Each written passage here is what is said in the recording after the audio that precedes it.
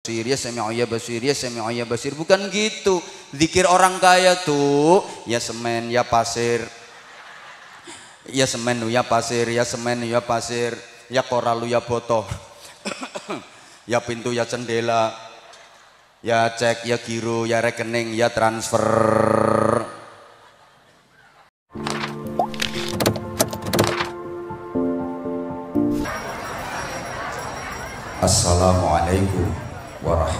warahmatullahi wabarakatuh.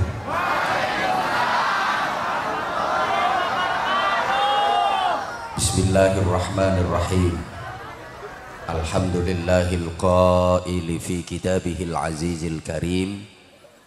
Wa ma arsalnaka illa rahmatan lil alamin. Ashhadu an la ilaha illallah wahdahu la syarikalah. Al-Malikul Haqqul Mubin وأشهد أن محمدا عبده ورسوله الصادق الوعد الأمين. اللهم صل وسلم وبارك على سيدنا ومولانا محمد أفضل الخلق أجمعين وعلى آله وأصحابه والتابعين ومن تبعهم بإحسان إلى يوم الدين. سبحانك لا علم لنا إلا ما علمتنا إنك أنت العليم الحكيم رب اشرح لي صدري ويسر لي أمري واحلل عقدة من لساني يفقه قولي واجعل لي وزيرا من أهلي ربنا افتح بيننا وبين قومنا بالحق وأنت خير الفاتحين أما بعد Sa'adatul muhtaramin para alim bapak-bapak kiai para ajengan para ibu nyai masyayikh asatid para sesepuh dan bini sepuh yang dimuliakan yang kita ta'zimkan. Pejabat pemerintah dalam semua tingkatannya forum komunikasi pimpinan kecamatan yang berkesempatan hadir, kepala kelurahan, bersama para staf, para ketua RW, terutama RW 016, para ketua RT dan tokoh-tokoh masyarakat yang kita hormati, rekan-rekan panitia, terkhusus poro kadang, poro sedulur, persaudaraan setia hati teratai yang kita banggakan. Ma'asyiral muslimin wal muslimat, Bapak, Ibu, saudaraku, saya mengajak kepada panjenengan semua untuk sama-sama bersyukur kepada Allah Subhanahu wa taala dengan syukur yang dalam, dengan syukur yang sungguh-sungguh. Pertama, alhamdulillah kita dikaruniai oleh Allah seorang nabi yang terbaik. Yang kedua, syukur kepada Allah. Alhamdulillah kita ditakdirkan menjadi umat yang terbaik. Yang ketiga, syukur kepada Allah, alhamdulillah kita dikaruniai Allah petunjuk hidup berupa kitab suci yang terbaik. Jadi tema ngaji kita hari ini adalah tiga ter terbaik nabinya, terbaik umatnya, terbaik kitab sucinya. Ini saja yang akan saya uraikan. Mudah-mudahan 10 menit selesai.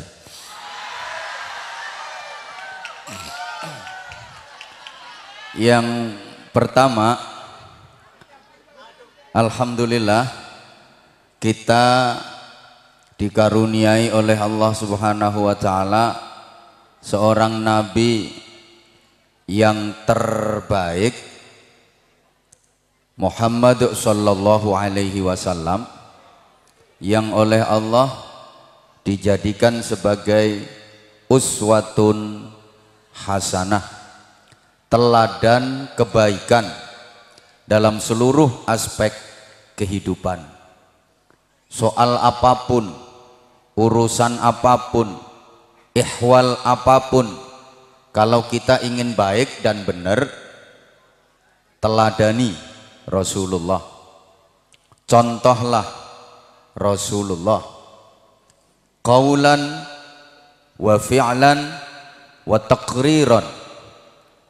Ucapan tindakan dan ketetapan Rasulullah itu menjadi rujukan hukum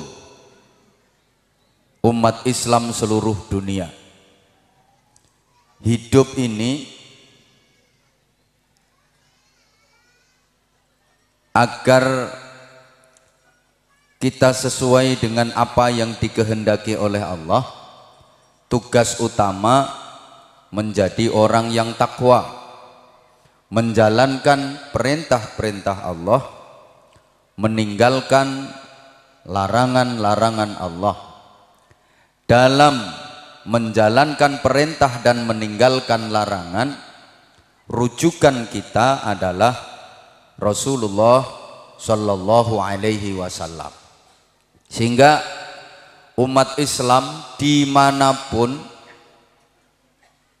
kalau melakukan apa saja pasti mengacu kepada Rasulullah, merujuk kepada Rasulullah. Saya tanya, tolong dijawab. Warga Sukamantri dan sekitarnya kalau menjalankan sholat subuh pakai kunut apa enggak? Pakai kunut apa enggak? Pakai sama dengan saya. Saya juga pakai kunut. Kalau ditanya kenapa sholat subuhnya pakai kunut? Jawabnya pasti karena Rasulullah sholat subuhnya pakai kunut. Dalilnya jelas. Sementara ada saudara kita yang lain dalam mengerjakan sholat subuh nggak pakai kunut. Kalau ditanya, kenapa sholat subuhnya nggak pakai kunut? Jawabannya sama, karena Rasulullah sholat subuh nggak pakai kunut. Mereka saudara kita juga punya dasar yang jelas. Sehingga dulu pernah ribut. Satunya bilang pakai kunut, satunya bilang nggak pakai kunut. Kata yang satu harus kunut, Kata yang satunya lagi nggak usah kunut. Dulu sempat ribut. Alhamdulillah masyarakat kita sekarang udah makin dewasa dalam berpikir, dewasa dalam bertindak, dewasa dalam bersikap, termasuk warga Sukamantri.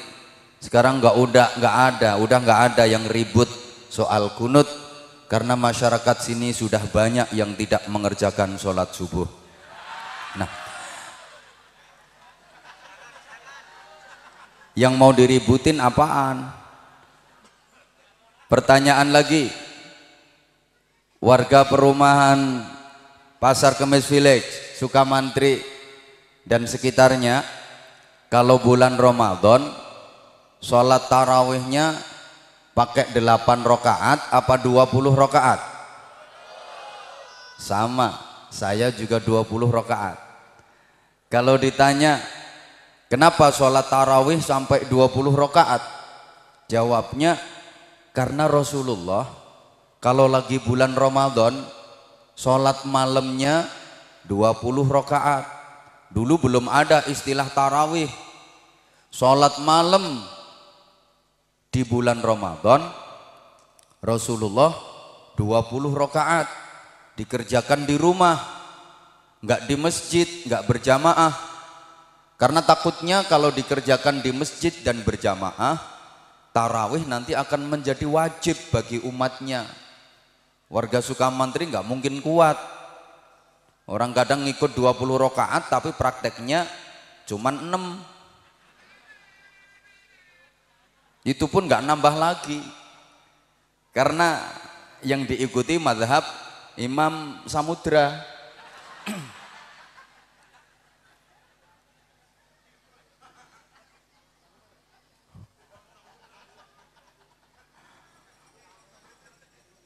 Ada saudara kita yang tarawih di bulan Ramadan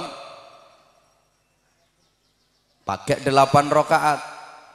Kalau ditanya kenapa tarawihnya delapan rokaat, jawabannya sama. Karena Rasulullah kalau sholat malam baik di bulan Ramadan maupun di luar Ramadan ya delapan rokaat. Satu bilang 20 rokaat, satu bilang 8 rokaat. Satu punya dasar hukum 20 rokaat, satu punya dasar hukum 8 rokaat. Maka dulu geger. Kata satunya yang benar 20, kata satunya yang benar 8, ini dasarnya. Satunya bilang ini dasarnya. Geger, saking serunya geger, akhirnya ketiduran sama-sama nggak tarawih. Maaf saudaraku para jamaah, sekarang tuh ibadah suka dibikin ribut, hanya diributin, tapi nggak dikerjakan. Ibadah hanya dibikin bahan debat, debatnya debat kusir lagi, apalagi di media sosial perang pendapat, kadang saling hujat, meributkan soal ibadah, tapi nggak mau mengerjakan ibadah. Cuma digawe gegeran to, digawe ribut to, tapi gak dilakoni. Halo. Pokoknya soal apa pun, urusan apa pun, rujukannya kepada Rasulullah. Sampai makan aja kita diperintah mencontoh Rasulullah. Gimana Rasulullah kalau makan? Rasulullah kalau makan pakai tangan kanan. Langsung pakai tangan tanpa sendok dengan pakai tiga jari. Ini artinya Rasulullah tuh kalau makan cuman sedikit, cara makannya sedikit-sedikit. Yang harus kita contoh sedikitnya dan sedikit-sedikitnya.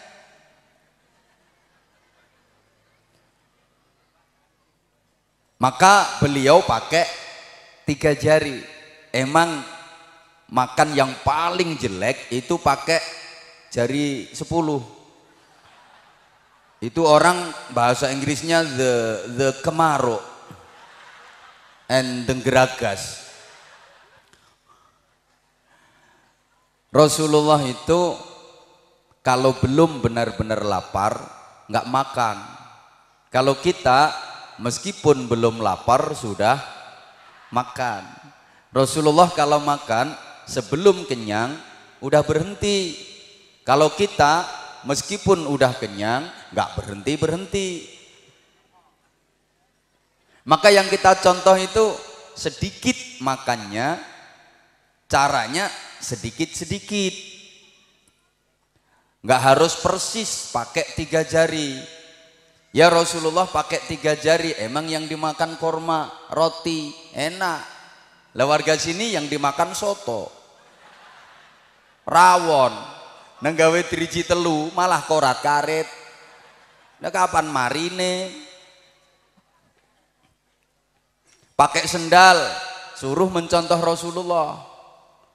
Kalau mau make yang dimasukin kaki kanan dulu.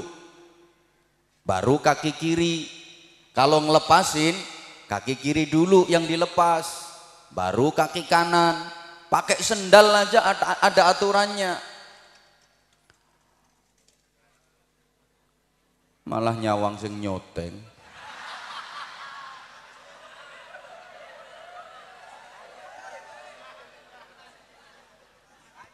Berpakaian diperintah mencontoh dan meneladani Rasulullah gimana Rasulullah dalam berpakaian perlu diketahui para jamaah prinsip berpakaian dalam Islam itu satu wajib nutup aurat. Dua, sopan, beradab, beretika. Soal model terserah. Rasulullah pakaiannya jubah. Iya, itu pakaian Arab. Karena semalam udah saya sampaikan bahwa Rasulullah itu mengapresiasi budaya lokal, menghargai budaya lokal, merawat budaya lokal. Selama itu tidak bertentangan dengan syariat, tidak bertentangan dengan akidah. Bisa saja Rasulullah bikin mode pakaian sendiri, tapi Rasulullah nggak mau. Udah kalau soal berpakaian kita ngikut umumnya masyarakat gimana? Umumnya masyarakat pakai jubah ya udah kita pakai jubah. Intinya nutup aurat. Kalau budaya kita bangsa Indonesia ya kayak gini. Ini pakaian islami. Udah nutup aurat sopan. Nggak harus memaksakan diri pakai jubah. Ini Arab juban mana kelopo juban Ya oleh tapi klopomu dhewe meletus karo. Bisa puklek sak pikulane. Ngarit juban. Nah, udah yang penting prinsipnya nutup aurat, sopan. Nah, terkait pendek, panjang, nggak usah dipersoalkan. Terutama bagi laki-laki. Terkait landung, cingkrang, nggak usah dipersoalkan Kan dulu ada tuh yang suka ngotot sunnahnya cingkrang. Ini kelompok RCTI, rombongan celana tinggi Indonesia. Kalau ada yang suka pakai sarung panjang, bahasa Jawanya ngelembreh, dikata-katain, isbal itu, minal khuyala, sombong itu. Jangan gitu, yang penting nutup aurat, sopan, Zaman Rasulullah emang dianjurkan berpakaian cingkrang-cingkrang saja bagi laki-laki. Karena pada masa itu pakaian masih langka. Banyak yang nggak bisa beli. Jangan mentang-mentang kaya bisa beli pakaian lantas berlebih-lebihan. Sampai landung ngelengsereh nggak karu-karuan. Potong. Cingkrang-cingkrang dikit nggak masalah.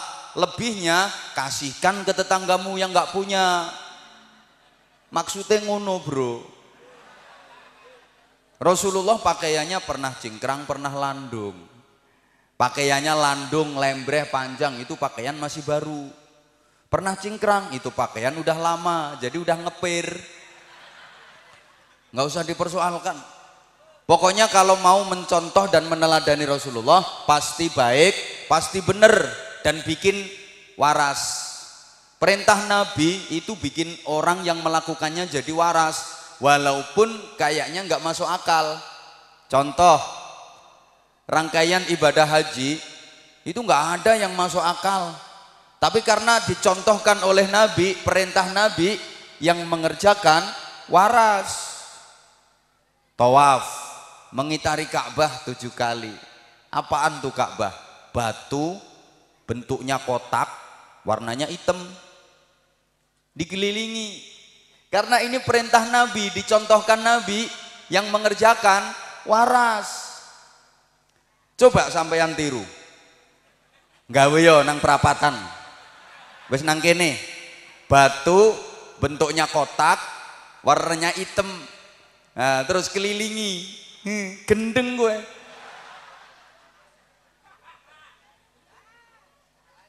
Lempar jumroh. Itu kan apa ya? Tugu, cagak dilempar pakai batu kerikil.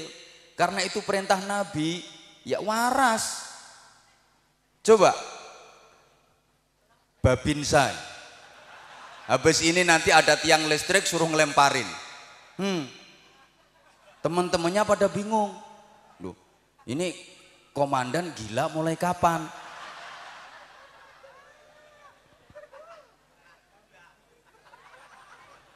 Allahumma sholli ala Muhammad. Nah, kok semuanya merujuk kepada Rasulullah? Sekarang pertanyaan, sakjanya menengok. Siapa sih Rasulullah itu? Kok semuanya harus merujuk pada Rasulullah? Nah, untuk menjelaskan itu mari kita berangkat dari satu makalah. Tolong ditirukan sama-sama. Yang mau menirukan, saya doakan tiga hari lagi rezekinya lancar. Hmm, semangat rezeki.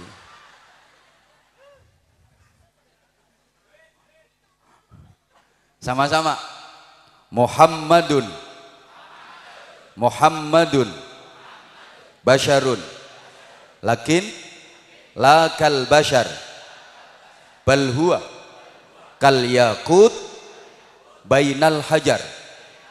Muhammad adalah manusia akan tetapi tidak seperti umumnya manusia Muhammad itu laksana berlian yang terletak di antara bebatuan.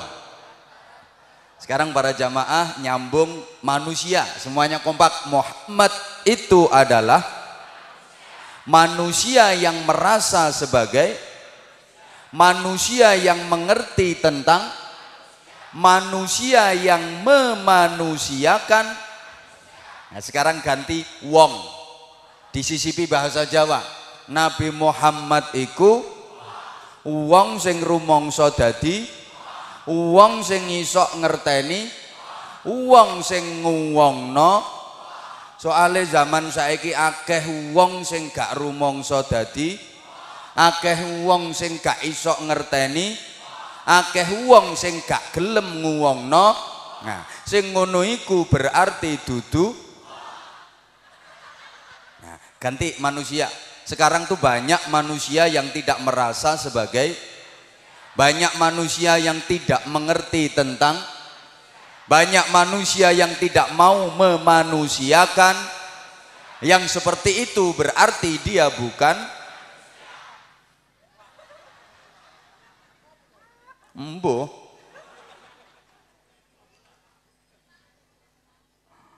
Allahumma salli ala Muhammad.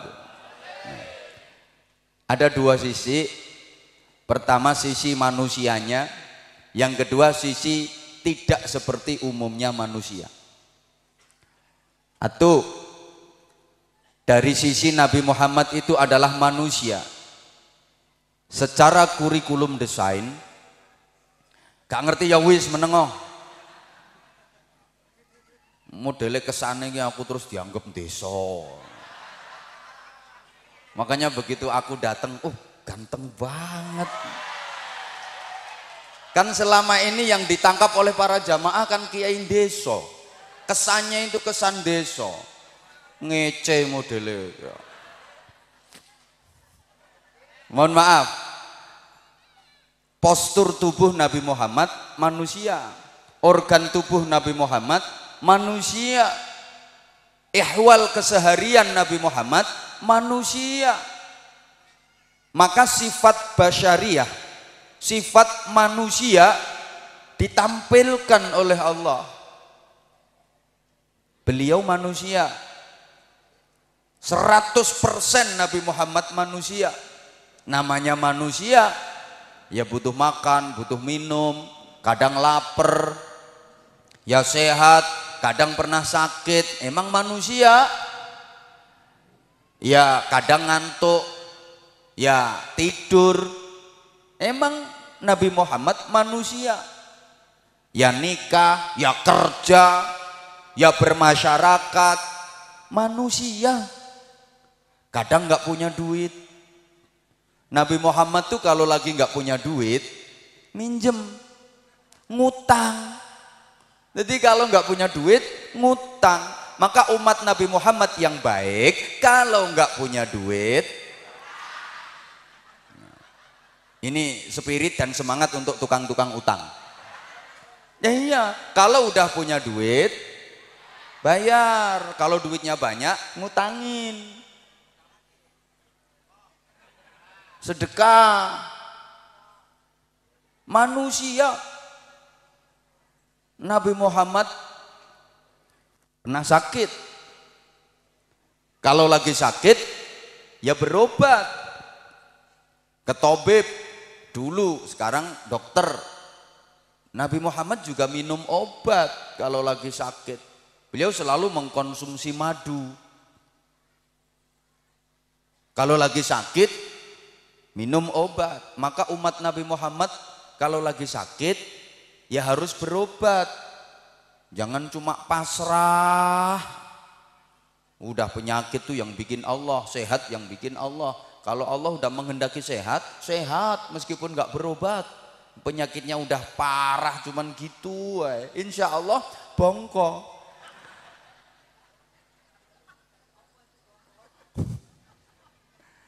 Sebagai manusia, Nabi Muhammad perang pernah kalah.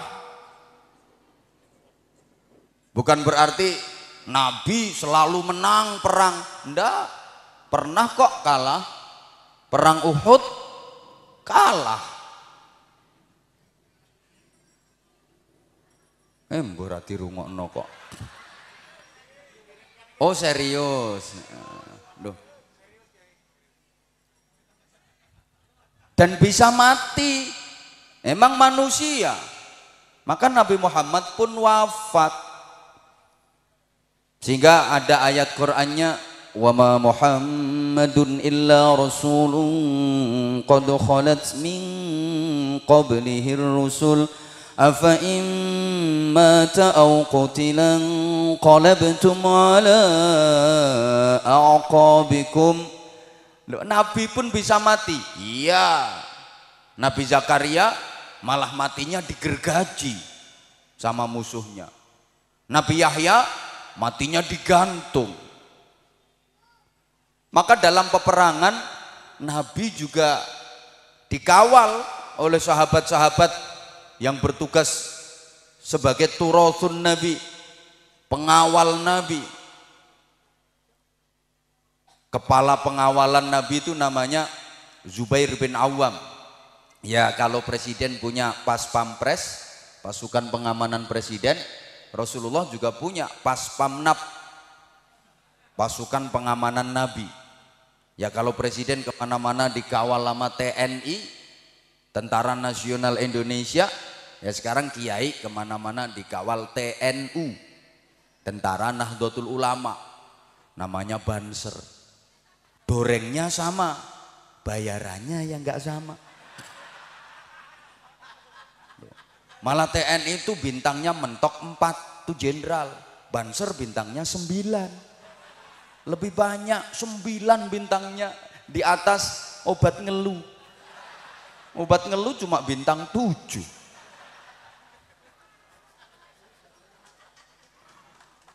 Allahumma sholli ala Muhammad. Allahumma sholli ala Muhammad. Eh, Nabi Muhammad itu manusia.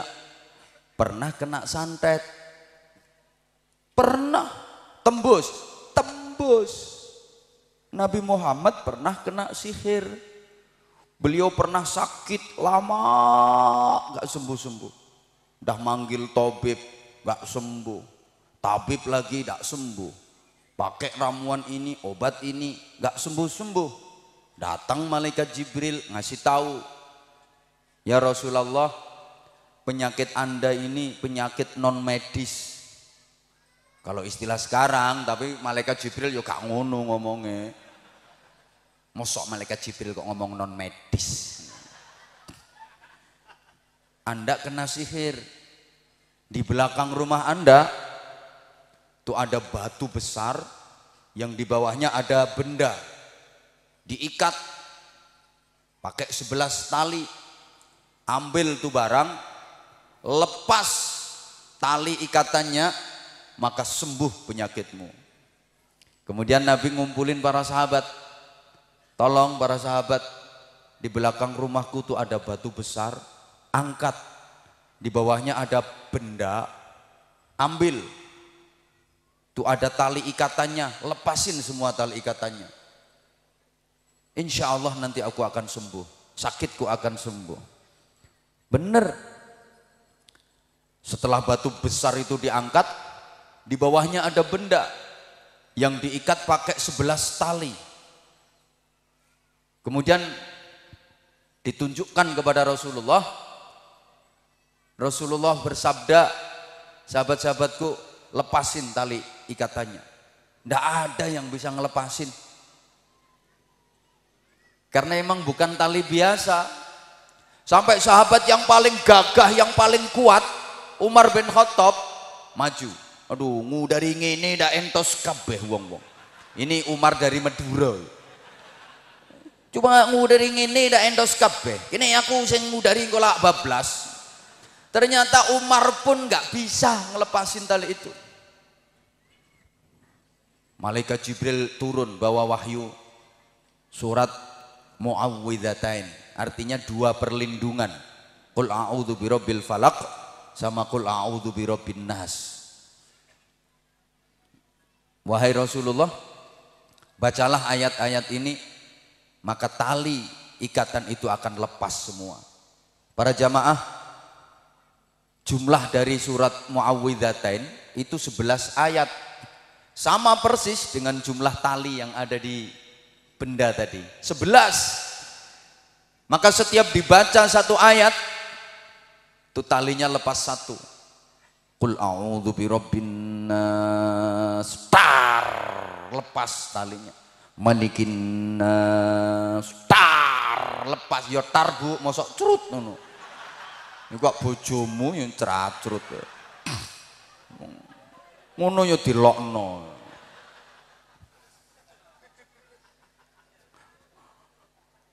Sebelas ayat dibaca, sebelas tali ikatan itu lepas semua sembuhlah Rasulullah Shallallahu Alaihi Wasallam. Maka para jamaah semenjak itu Rasulullah setiap mau tidur selalu membaca muawwidzatain kul a'udzu birabbil falak dan kul a'udzu birabbin nas untuk perlindungan. Setelah dibaca ditiupkan ke kedua telapak tangan, diusap-usapkan ke sekujur tubuh. Ini bisa untuk tolak santet. Nggak usah ke dukun, entek-entek gula. Nanti bangane gula duit dikekno dukun ya atukan kekno kiai. Karuan barokah.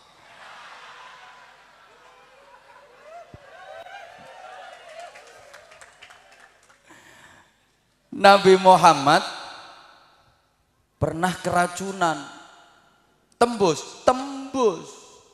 Bahkan menurut Tabib Ibnul Qura Salah satu sebab wafatnya Rasulullah itu karena sisa-sisa racun yang dulu pernah diminum oleh Rasulullah yang baru bereaksi setelah sekian tahun kemudian. Loh, memang manusia maka sifat basyariah, sifat manusianya ditampakkan oleh Allah. Nabi Muhammad juga pernah diomelin istri. Pernah. Istri-istrinya pada ngomel semua. Nabi Muhammad diomelin ya pernah pure. Ngambek. Eh, tapi purenya nggak minggat. Beliau kholwat. Iktikaf di masjid, zikir. Enggak kaya purekmu terus golek meneh Potongamu perkara diomeli bojo mau mangan nang omah mau ngopi nang omah terus moro nang warunge rondo. Wirang genah. Makanya ibu jangan suka ngomel. Wes wes ntar saya sampein. Allahumma sholli ala Muhammad. Eh Nabi Muhammad pekerja keras. Jadi kalau nggak punya uang kerja bukan menggandakan uang. Nggak punya duit menggandakan uang itu bukan kanjeng Nabi tapi kanjeng Dimas taat pribadi. Sampai sekarang masih di penjara itu orang. Kalau Nabi Muhammad kerja Nabi Muhammad tuh pekerja keras. Beliau mengatakan karena Adam harrosan Nabi Adam itu petani pekerja keras Wakana Daud najaron, Nabi Daud itu tukang. Tukang itu kalau sekarang ya ya arsitek, kontraktor. Wakana Musa mukabbisan, Nabi Musa itu peternak. Kerja wa kuntu tajiron. Aku kata Nabi pedagang. Nabi Muhammad masih kecil, dagang udah lintas negara. Udah sampai ke negeri Syam, sekarang jadi negeri Syria itu. Masih kecil, dagangnya udah lintas negara. Jadi nggak mentang-mentang Nabi terus nggak mau kerja. Kalau lagi perlu duit, Allahumma duit. Geratak, geratak, geratak, geratak, duit datang. Kepingin sate, Allahumma sate. Kerotok, kerotok, kerotok, kerotok, sate datang. Enggak. Nabi Muhammad kerja. Makanya nggak bener ya sampean pengen dapat rezeki itu nggak mau kerja, muter tasbih tok ber ber ber. Sumiati, Sumiati, Sumiati, Sumiati, ber, Sulastri, Sulastri, Sulastri, Sulastri.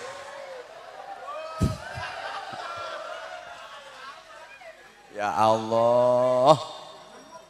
Allahumma sholli ala Muhammad. Eh. Emang beliau manusia. Nabi Muhammad kalau lagi lapar nyari batu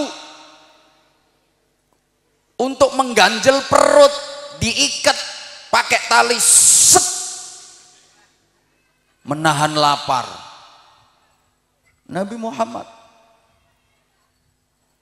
ya manusia ditampakkan manusia agar bisa kita contoh maka Nabi Muhammad mohon maaf pernah sholat subuh kesiangan. Pernah karipan loh belum pernah dengar hadisnya. Emang jarang diceritakan nama kiai. Karena kiai sering kayak gitu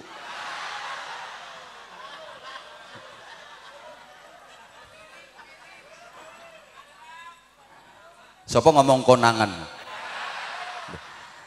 Ini sebuah hadis diceritakan sepulang dari salah satu ghazwah. Ghazwah itu istilah Arab peperangan yang langsung dipimpin Rasulullah. Itu namanya ghazwah. Sepulang dari satu peperangan Rasulullah bersama para sahabat kelelahan capek banget. Udah dini hari udah hampir masuk waktu subuh. Rasulullah beristirahat tahta syajarati syaukah. Allah bahasa Arab ya orang orang ngerti kayak teman. Bisa langsung mateng di bawah pohon berduri.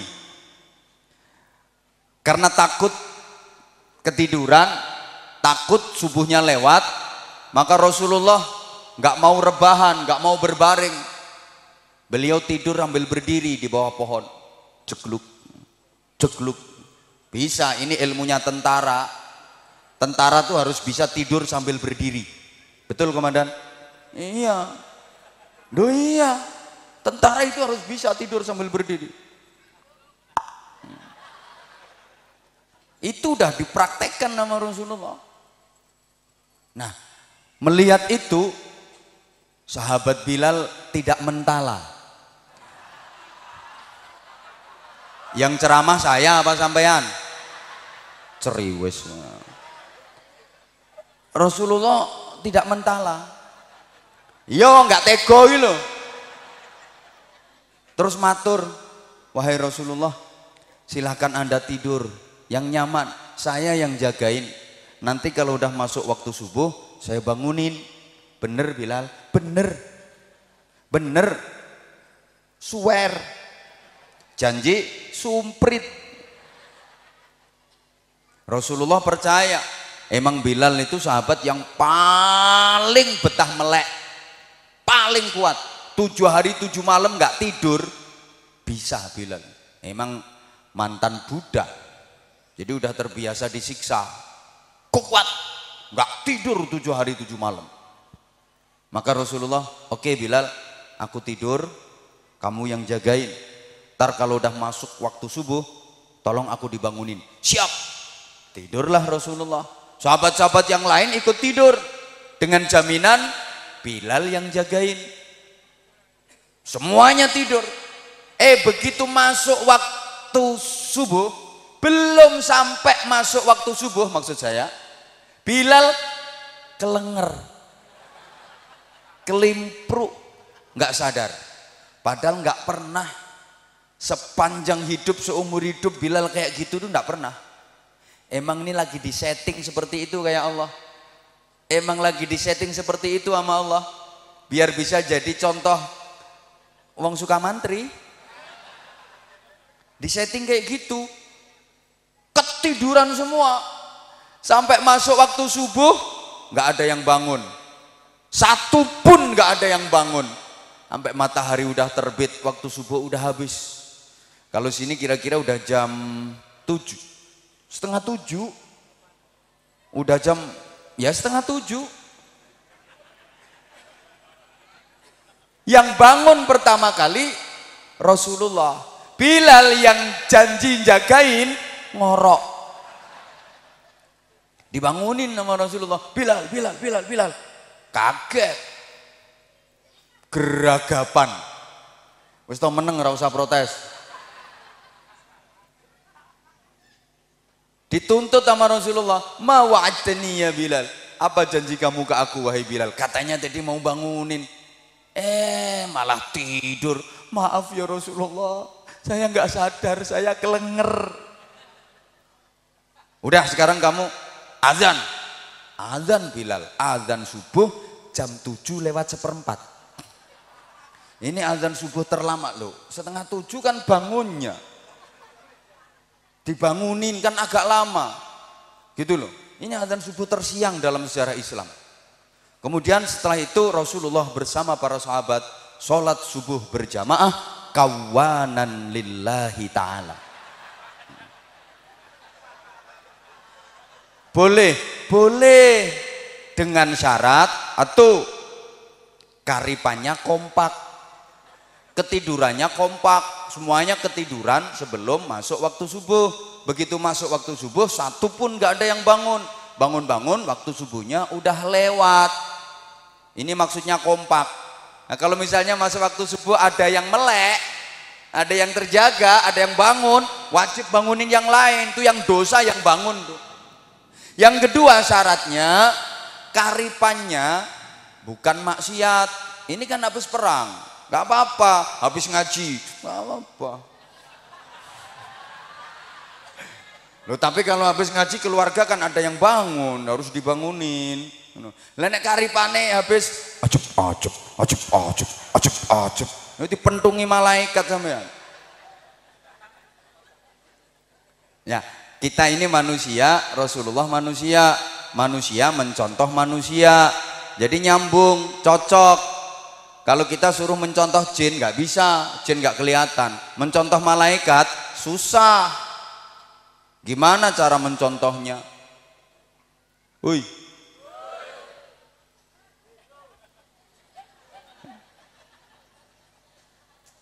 Ya malaikat nggak ada kata capek. Sholat berjamaah tuh manusia makmumnya, manusia pula imamnya. Coba imamnya malaikat Jibril. Nyonyor sampai ya. Jamaah maghrib, habis fatihah rokaat pertama, Quran khatam tiga kali. Rokaat kedua khatam Quran dua kali. Nyonyor, kan kalau malaikat nggak ada capek. Sama tahu ngerti ya, no malaikat kesel terus pijet malaikat sontek bareng gak gak ada capek. Ya kayak gini lah. Pengajian. Jamaah yang datang manusia yang kasih ceramah manusia. Jadi nyambung cocok. Misalnya nih yang ceramah malaikat Israel kabur semua. Ya kalau malaikat nih wal malakul ladzi bila abin wa um la aklala syurba wala nauma lahum. Ngajinya anak-anak tuh akidatul awam. Kalau yang bapak-bapak ibu-ibu emang nggak pernah ngaji Malaikat itu, kan tanpa bapak, tanpa ibu, nggak makan, nggak minum, nggak tidur, tuh malaikat. Eh, misalnya ini yang lagi ceramah malaikat, nggak perlu minum, nggak perlu makan, nggak perlu duit. Nah, pengumuman, aku ini bukan malaikat. Jadi yo yo isa perlu. Ya kalau pingin bikin acara nggak keluarin duit, undang sono malaikat. Ngono sing sambat, uh mahal banget tuh, mahal banget. Ya kalau pingin nggak mahal ya jangan ngundang saya. Tuh ketua RT suruh ceramah sendiri. Tuh nggak mahal-mahal amat tuh. Seketewu budal. Allahumma sholli ala Muhammad. Allahumma sholli ala Muhammad. Mohon maaf. Jadi ini jamaahnya manusia, tamu undangannya manusia, yang ceramah manusia. Maka majelis kita hari ini bukan kejinan, karena kelompoknya bukan jin, bukan kesetanan, karena yang datang bukan setan, bukan kebinatangan, karena yang datang bukan binatang, tapi kemanusiaan. Karena yang datang semuanya manusia, betul? Maka jamaah kita ini adalah kemanusiaan. Diulang sama-sama. Sekarang disambung yang adil dan beradab. Tuh dua tiga. Kemanusiaan yang Tuh Pancasila jangan sampai lupa. Allahumma sholli ala Muhammad. Eh, sebagai manusia, Nabi Muhammad juga pernah lupa. Ini agar bisa buat contoh buat kita. Pernah Rasulullah lupa bilangan sholat, lupa bilangan rokaat dalam sholat. Waktu itu lagi sholat zuhur berjamaah di masjid, Rasulullah jadi imam, terus yang berada di soft awal di barisan terdepan ini sahabat-sahabat utama yang alim-alim yang pinter-pinter kayak Sayyidina Abu Bakar Siddiq, Sayyidina Umar bin Al-Khattab, Sayyidina Utsman bin Affan, Sayyidina Ali bin Abi Thalib, Sa'ad bin Abi Waqqas, Abdurrahman bin Auf dan sebagainya. Ini di soft awal. Biasa orang kalau utama itu ya dispesialin. Ya kayak ginilah yang duduknya di sini. Nah, ini mesti orang-orang utama tamu-tamu utama, tamu-tamu penting. Lek penting yang dongsong-dongsong no kono.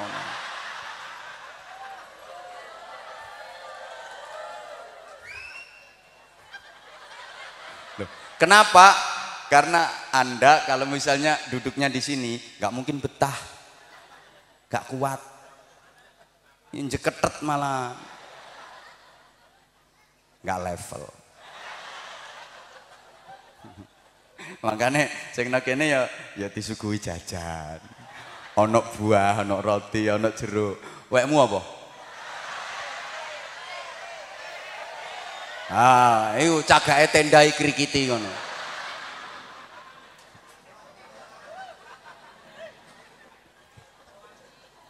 Nah, di belakang ada orang yang pakai okol tapi nggak suka pakai akal, nggak begitu pinter. Aku mau bilang goblok takut ada yang tersinggung. Namanya Zulyaden. Itu dia makmum di barisan belakang. Nah, begitu sholat duhur dapat dua rakaat, Rasulullah lupa. Beliau salam langsung. Assalamualaikum warahmatullah. Assalamualaikum warahmatullah. Langsung disambung zikir, wirid. Ini sahabat-sahabat utama yang ada di soft awal di barisan depan pada diem, nggak ada yang negur. Kalau jamaah sini kan udah pada ngerti. Subhanallah, betul? Ini semuanya diem. Kenapa? Malu. Emang orang pinter itu rata-rata punya sifat malu. Kalau orang goblok, biasanya nggak punya malu. Kalau orang pinter punya sifat malu, maka meskipun dikasih kue, buah, macam-macam, nggak dimakan. Malu. Walaupun sebenarnya pingin.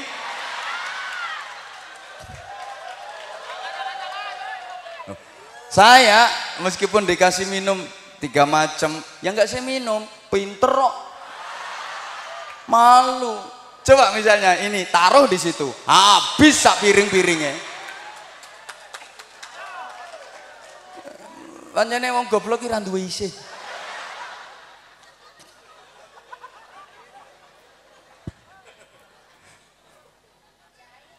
Ya Allah. Mangkel ya wis. Kenyataan kok. Jarang ada orang pinter priayi-priayi kok geragas itu jarang. Kalau disuguhin makan ya cuman dikit makannya. Ngono-ngono kae.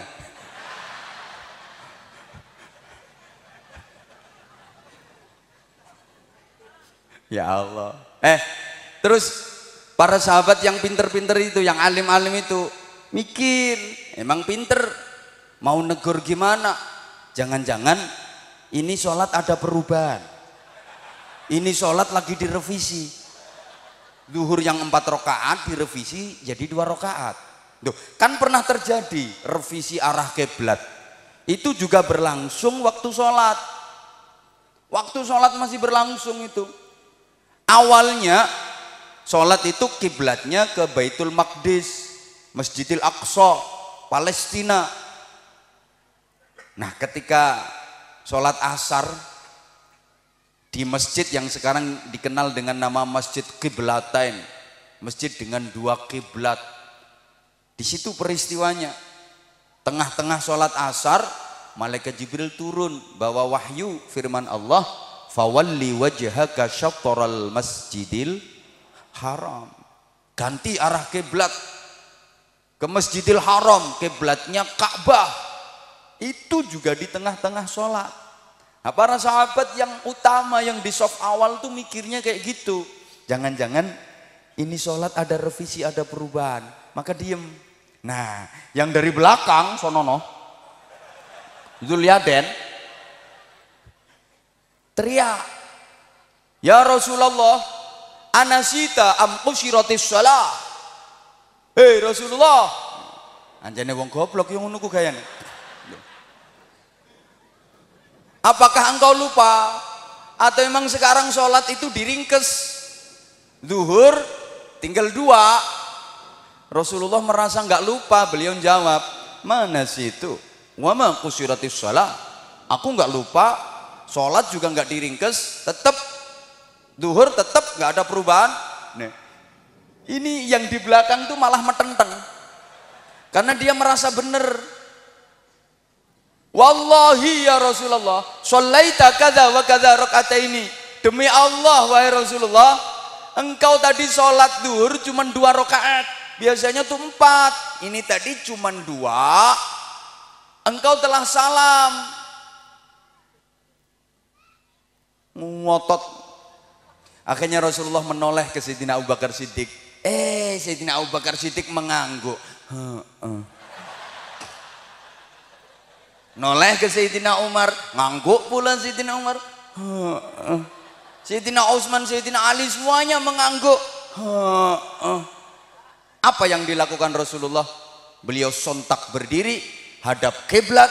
Allahu Akbar nambah dua rakaat ini jadi syariat, nggak usah diulang dari awal, nambah dua rakaat. Nah, aturannya gitu. Nah, kesimpulan, untung ada orang goblok. Duh, iya, ternyata orang goblok tuh penting. Andaikan waktu itu nggak ada orang goblok, sekarang sholat jamaah duhur bisa kacau bisa empat rakaat, bisa dua rakaat. Karena Rasulullah pernah sholat duhur berjamaah dua rakaat. Semua yang dilakukan Rasulullah menjadi hukum. Kacau sekarang jamaah duhur. Misalnya ada orang ketinggalan jamaah namanya makmum masbuk. Mau ikut jamaah sholat duhur. Duhurnya udah berlangsung. Dia mau ngikut mesti nanya dulu. Hei, papat apa loro?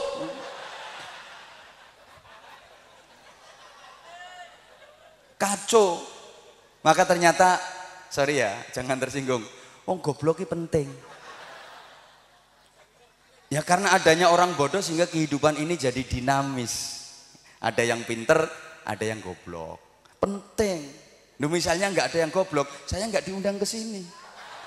Saya sampai sini ini barokahnya yang goblok-goblok itu. Makasih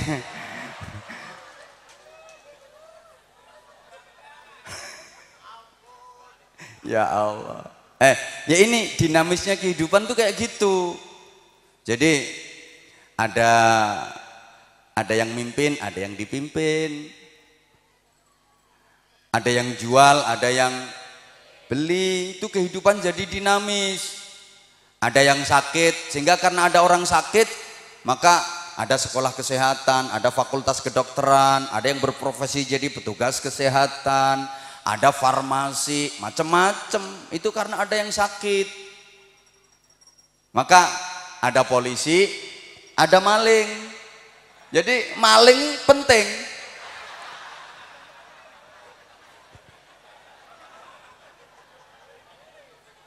Nah kalau nggak ada maling polisi suruh ngapain? Penting. Ini kebetulan malingnya datang dan tuh orangnya lagi ketawa.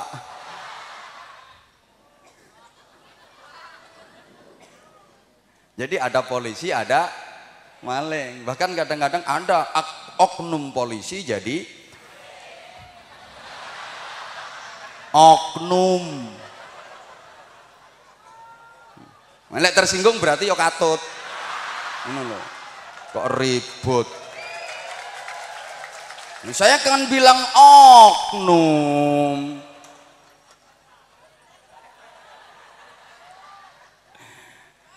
Jadi ya kayak gini, ada yang ngaji, ada yang ceramah.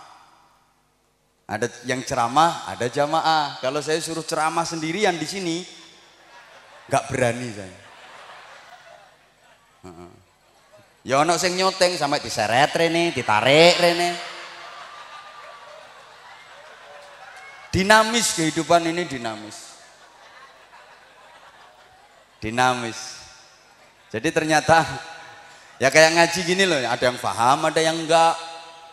Ada yang dari tadi memperhatiin saya, tapi dia enggak paham. Tuh yang pakai kerudung kuning tuh.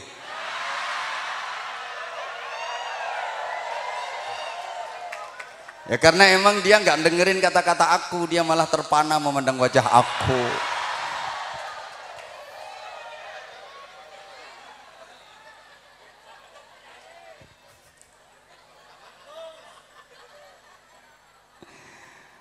Maksudnya kayak gini. Betapa sifat basyariahnya Rasulullah ditampakkan, ditampilkan agar mudah kita contoh. Rasulullah itu manusia pernah lupa. Apalagi yang kita, kita-kita ini bukan cuma lupa aja, salah al insan mahalul khotowan nisyan. Manusia itu tempatnya salah, tempatnya lupa. Maka ibu kalau suami ibu salah, jangan diomelin. Ojo dicelatu. Wajar dong kalau suami ibu punya salah karena suami ibu manusia. Maka kalau pengen punya suami yang nggak ada salah, jangan nikah sama manusia. Ya gedebok itu latenono. Oh, gak ono salahnya. Sopo ngomong anyep nih. Yo kempiten terus ngolah anget. Bantah.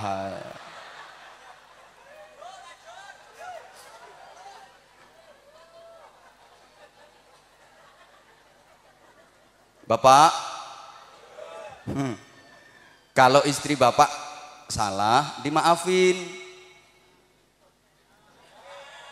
Oke apa nih? Ada suami itu yang kerjaannya marah-marah, marah-marahin istri, kayak kayak suami nggak pernah salah. Istri selalu salah.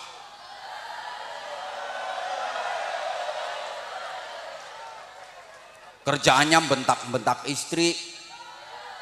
Bahkan ada yang sering KDRT. Suami apaan? Kalau suami ibu kayak gitu bilang ke aku. Oh nek sanggup ngerumat karowane. Wong istri ayu-ayu ning ngene kok disia-siakan. Alah nggak usah GR. Bapak, namanya manusia pak, nggak ada yang lengkap, nggak ada yang sempurna. Bapak kalau nyari istri perempuan yang komplit, lengkap, sempurna, pepek, nggak mungkin nemu di dunia ini. Perempuan tuh kadang dapat ininya, tapi nggak dapat itunya. Dari satu segi dia dapat, tapi sisi yang lain nggak dapat. Ada yang cuma dapat cantiknya doang. Ono wong itu cantik, tapi sakit-sakitan. Wah, kok angger bar tinggu mesti nyontekno. Habis dipakai nyontekno, habis dipakai nyontekno. Nganti mlakune ekeh-ekeh. Ya kakean cublesan ngarep ngguri. Mosok angger bar digawe kok nyontekno. Nanti wong lanang apa gawe iki mikir ngitung duwe cukup ora ge nyontekno. Cantik tapi sakit-sakiten. Gitu loh, Pak. Ada yang maaf, wajahnya tuh jelek tapi sehat, nggak pernah sakit. Kuat banget. Wis apa-apa digotongi kabeh. Senengane usung-usung. Kuat, sehat, nggak pernah sakit. Sambar petir murup kok. Yang kulitnya teko logam.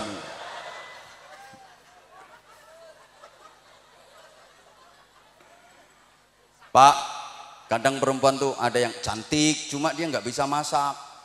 Masakannya nggak enak. Hmm. cantik cuma masakannya nggak enak adang sangit.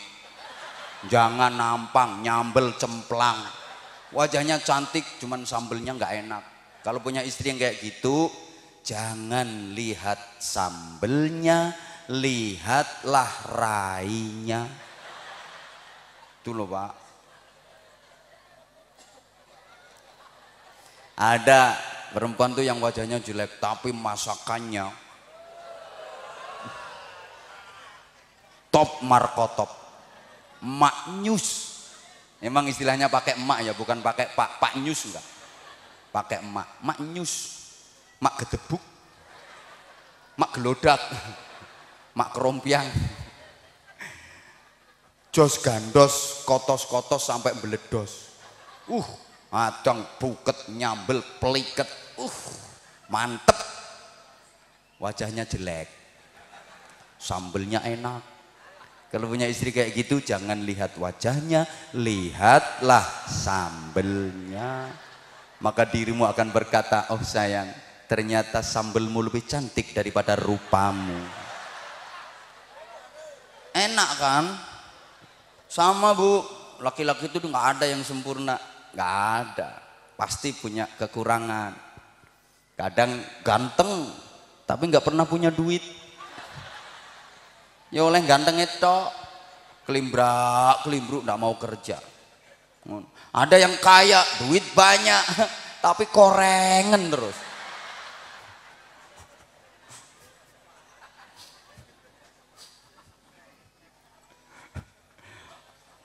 Ada yang gede tinggi dowo tapi lemes model. Gak imbang karo nih melur lewemes. Ada yang kecil cilik ndik metekel tapi pinter penean cilingkrik cilingkrik cilingkrik. Gandul gandul. Terus kadung menek gak mudun-mudun. Nek gak no yo gak mudun. Cewilik wonge. Sapa ngomong? Wekku kuwi wekku kuwi.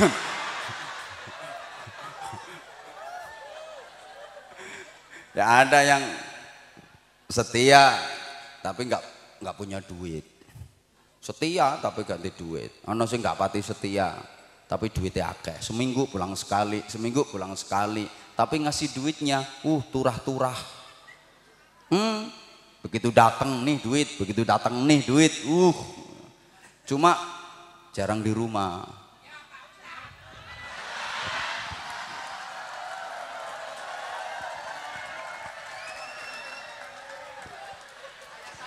Maksudnya enggak gitu.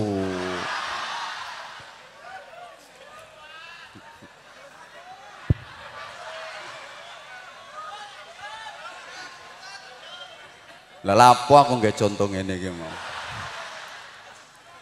Ada yang nah. Eh, situ nyumbang berapa? Cerewet. Ada yang Wah setia banget. Ke mana-mana selalu dampingin istri. Ya ke pasar diantar, ke toko diantar, ke saudara diantar, tapi nggak punya duit. Duit dari mana? Mau nganterin istri terus? Makanya ibu sebagai istri jangan latah doa kelewatan. Ya Allah, jadikan suamiku suami yang setia selalu mendampingiku. Di mana pun kapan pun seia sekata sehidup semati. Dituruti tenan nyonyor sampean. Tidur didampingin. Mandi didampingin. Berak didampingin.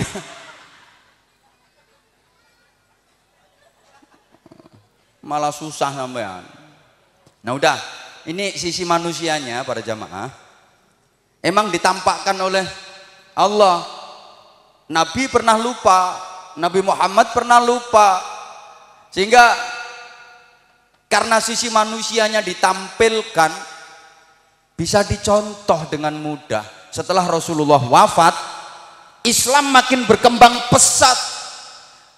Karena pengikut-pengikut Rasulullah bisa mencontoh dan sudah diberi contoh komplit konkret oleh Rasulullah. Khulafaur Rasyidin. Mau bisa melanjutkan perjuangan Rasulullah dengan baik. Islam makin pesat perkembangannya. Para sahabat bisa melanjutkan perjuangan Rasulullah dengan baik. Udah ada contoh. Ketika lupa begini caranya. Menghadapi masyarakat yang dablek-dablek kayak gini. Gini solusinya. Nah maaf, kalau Nabi Isa itu sifat basyariahnya nggak muncul, nggak tampak, sifat manusianya hampir nggak kelihatan. Itu Nabi Isa sehingga susah dicontoh. Nabi Isa itu seumur hidupnya nggak pernah lupa. Hmm, ada manusia kok nggak pernah lupa, itu malah kayak bukan manusia. Nabi Isa itu seumur hidup nggak pernah lupa. Nah terus Nabi Isa itu kalau dibohongin jadi nyata. Misalnya ada ibu-ibu gendong bayi ditutupin pakai kain ketemu sama Nabi Isa ditanya bu tuh yang digendong apa batu langsung berubah jadi batu seketika. Ini Nabi Isa. Ada orang kaya dia bawa duit banyak. Terus nggak lama ketemu Nabi Isa. Ada pengemis datang. Nabi Isa bilang sama orang kaya tadi tuh pengemis kasih duit. Eh ternyata orang yang kaya bilang aku nggak punya duit. Lep langsung hilang semua duit. Ini Nabi Isa. Ada ibu-ibu lagi ngomelin suami. Ada kata-kata kata-kata kata-kata kata-kata kata-kata kata-kata. Wong lanang rang genah mangannya gak lawe enak yo gak gelem nek belanjani mek titik. Ngene iki wong wedok bingung leh muter duit. Coba apa kono dadi wong wedok sekali-kali ngumetno duit. Anggete 100.000 entuk ngene entuk ngene entuk ngene sembarang-barang ngene iki apa-apa larang. Mulane ngono rumah tangga iki yo mikir aja njaluk menange dhewe pene lanang njaluk menange dhewe. Sing lanang mau ketap ketip matane tok. Ketemu sama Nabi Isa, Nabi Isa tahu dinasehatin, Bu, istri itu jangan suka berani sama suami, awas kualat lo yo. Lah kok bantah? Kualat taek. Kualat apaan? Ini istri langsung mati di tempat seketika. Hmm, untung ini enggak umatnya Nabi Isa. Hmm, andai kan di sebelah sini umatnya Nabi Isa, ini udah duda semua. Udah langganan diomelin, Ya karena kayak gitu maka susah dicontoh. Begitu Nabi Isa diangkat ke langit sama Allah, pengikutnya bingung, nggak ada yang bisa nerusin, nggak ada yang bisa nyontoh. Gimana nyontohnya? Nabi Isa itu kan kayak bukan manusia, sifat basariahnya nggak tampak. Lahir nggak punya ayah. Sini ada? Eh? Ada jure. Asline yo punya, cuma gak ngaku. Ngono wonge kae lho, lho kae lho.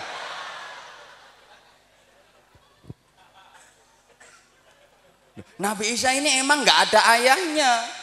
Kan udah mulai mulai lahir aja sifat basariahnya udah mulai nggak nampak. Eh gak paham ya wes pokoknya tak sampai. Sehingga ketika Nabi Isa diangkat ke langit sama Allah, pengikutnya pada bingung. Ini gimana nyontohnya? Gimana ngikutinnya? Bingung. Wah daripada nggak bisa nyontoh, nggak bisa ngikutin, udahlah anggap aja dia anak Tuhan. Bikin SK ketuhanan. Akhirnya dianggap Isa anak Allah. Ya, Yesus Tuhan. Ya SK ketuhanan dibikin. Daripada bingung,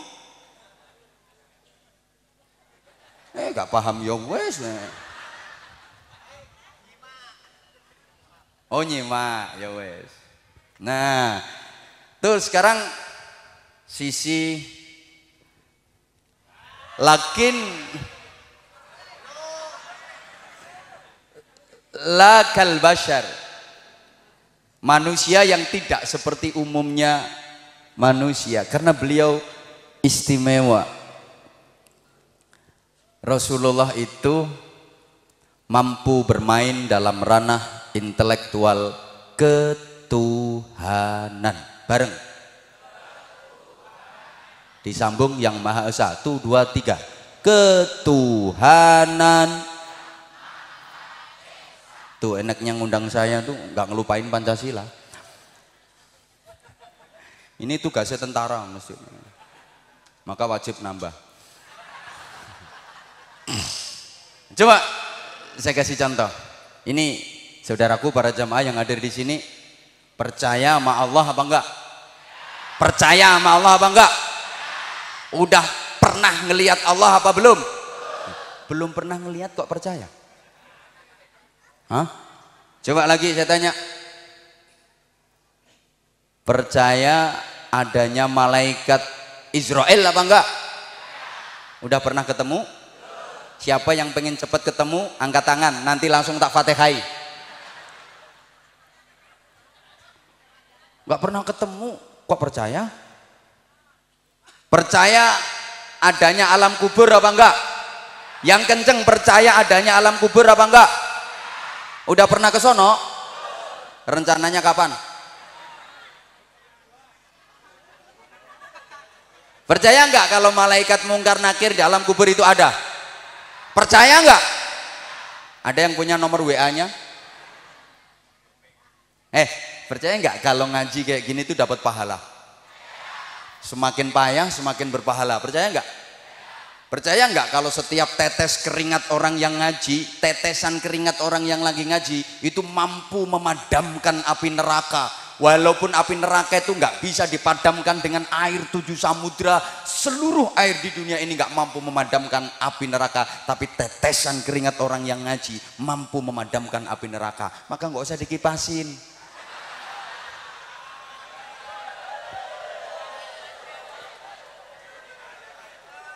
makin kecut makin asyik percaya nggak kalau ngaji kayak gini dapat pahala terus pahala tuh warnanya apa? Hijau kuning kelabu merah muda dan biru. Nah itu balonku ada lima. Woi. Woi. Eh percaya hari kiamat apa enggak? Terus hari kiamat tuh ntar tanggal berapa? Kok percaya? Percaya sama Allah, padahal belum pernah ngeliat. Percaya adanya malaikat Israel, tapi belum pernah ketemu. Percaya alam kubur, nggak pernah ke sana tuh. Percaya mungkar nakir, nggak kenal. Percaya hari kiamat, nggak tahu kapan kiamat itu bener apa enggak. Kok bisa percaya? Karena yang membawa kabar itu bukan manusia-manusia yang model seperti mereka.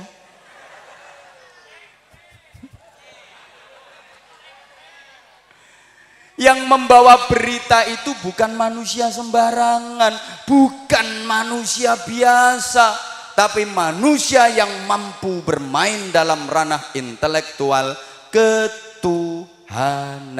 Wa hawa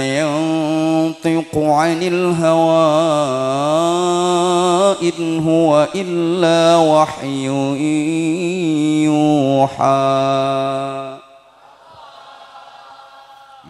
Nek muni Allah kaya wong sambat kena utang ngono. Allah, kok gak lunas-lunas. Apa yang dikatakan yang disampaikan Rasulullah itu bukan dari kehendak beliau sendiri, bukan kemauan beliau sendiri, tapi semuanya berdasarkan petunjuk Allah, berdasarkan wahyu. Terus Nabi Muhammad itu membawa ya membawa rewel banget sih warga sini.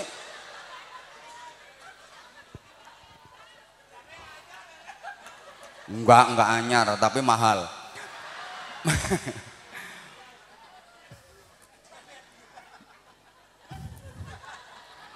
Untung orangnya cantik-cantik. Jadi betah aku. Yang cantik. Nabi Muhammad itu membawa citra ketuhanan. Sampai Allah aja memuji Nabi Muhammad wa innaka la'ala khuluqin 'adzim. Sungguh engkau Muhammad berada pada budi pekerti yang agung. Dan beliau Nabi Muhammad juga memproklamirkan diri Innama bu'istu liutammima makarimal akhlak. Sesungguhnya aku diutus untuk menyempurnakan akhlak-akhlak mulia. Dan nilai manusia itu memang dari akhlak. Kalau akhlak udah tertata dengan baik, lahirlah takwa. Dan takwa itu kasta tertinggi manusia di sisi Allah. Derajat tertinggi manusia itu ukurannya takwa. Inna akramakum indallahi atqakum dan takwa itulah sesungguhnya prestasi. Banyak orang yang tertipu dengan profesi sampai melupakan prestasi. Nilai manusia itu para jamaah bukan dari profesi tapi dari pres kok gak nyaut ya Nilai manusia itu bukan dari profesi tapi dari pres. Maka ukuran kesuksesan seseorang itu prestasi, bukan profesi. Profesi hanya sarana, alat untuk meraih prestasi. Dan prestasi sesungguhnya adalah takwa. Maka apa pun profesimu, mau petani, mau pedagang, mau guru, mau jadi pegawai negeri, mau TNI, Polri, Ustadz, pengusaha, apa pun. Jadikan profesi itu sebagai alat untuk meraih prestasi, yaitu takwa. Allahumma sholli ala Muhammad. Eh, eh, perhatiin. Profesi itu cuma bungkus. Prestasi itulah isi. Dijawab. Bungkus sama isi itu lebih penting mana? sama pentingnya. Dinamakan isi itu karena ada bungkusnya. Kalau nggak ada bungkus, mana ada isi? Sama penting. Tapi kalau dari sisi nilai, lebih unggul isi. Bungkus menentukan penampilan, isi menentukan penilaian. Kalau bisa, bungkusnya bagus, isinya mahal. Kalau bisa bungkusnya bagus, isinya mahal. Panitia nggak usah tersinggung, sensitif banget. Nah, nah kalau nggak bisa, mending bungkusnya nggak begitu bagus, isinya mahal. Daripada bungkusnya bagus banget, isinya murahan. Bungkusnya koper wapi meling-meling isine katok teles. Kayak opo mending bungkusnya tas plastik kresek wis welek tapi isine berlian permata duit. Ngono lho. Hui.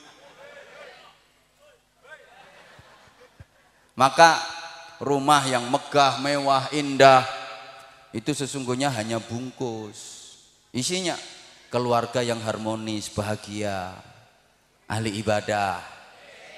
Apa artinya sih rumah megah kayak istana, tapi isinya keluarga yang berantakan, cekcok tiap hari, berantem tiap hari. Itu bukan rumah tuh, kandang. Mending bentuknya sederhana, tapi dalamnya keluarga yang harmonis rukun ahli ibadah. Tuh rumah tangga namanya, rumah tangga. Walaupun tuh rumah nggak ada tangganya, Wajahmu yang tampan, ganteng, keren, gentle. Posturmu yang tegap, tinggi besar, gagah, atletis, kulitmu kuning, sauntumu. Itu cuma bungkus, bro. Bungkus. Isinya apa? Akhlakmu. Itu isi. Sama Wajahmu yang ayu, kemerusu, keboy, sumuluhai, aduhai, imut, yahud, bahenol, menomenol, sema, kembelenak, kemontok, kementak, kementak, kemolak, kinyis, kinyis, mingis, mingis, mentong, mentong, moblong, moblong, bahenol, denok, denok, debleng. Itu cuma bungkus, say. Cuma bungkus. Isinya kepribadianmu, kelakuanmu. Apa artinya sih Pak? Punya istri bodinya bagus, wajahnya cantik, tapi hatinya kayak mak lampir. Kayak apa? Ngono. Iki ya sekedar hiburan yang merasa istrinya jelek.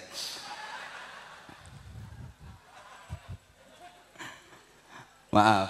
Eh. Rizki apa pun itu bungkus, isinya berkah. Buku kitab itu bungkus, isinya pengetahuan. Gitu loh. Paham? Nah, saya ceramah kayak gini, bungkus, isinya kenyataan.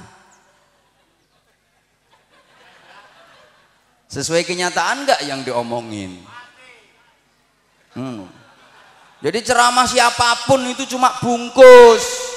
Siapa pun yang ceramah cuma bungkus. Isinya realita, kenyataan.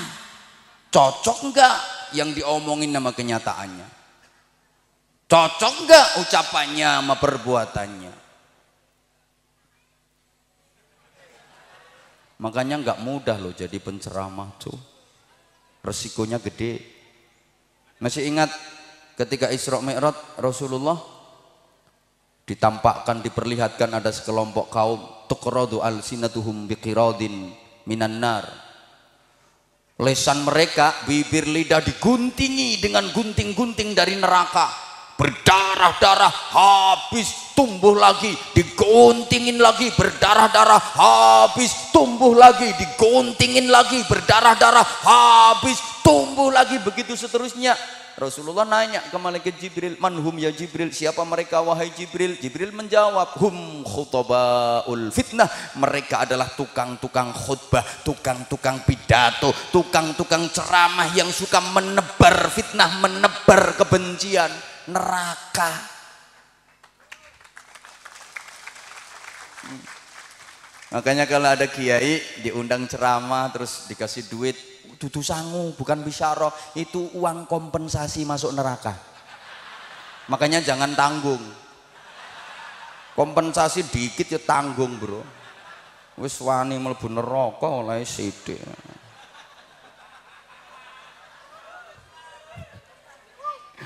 Allahumma sholli ala Muhammad. Eh, eh.